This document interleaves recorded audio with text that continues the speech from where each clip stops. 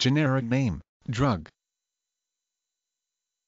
Generic name, drug. The term generic name has several meanings as regards drugs. Diazepam is an example of the chemical generic name of a sedative. It is marketed by some companies under its generic name and by other companies under brand names such as Valium or Vazepam. Generic drugs marketed without brand names are less expensive than brand name drugs even though they are chemically identical to brand name drugs and meet U.S. Food and Drug Administration FDA standards for safety, purity and effectiveness.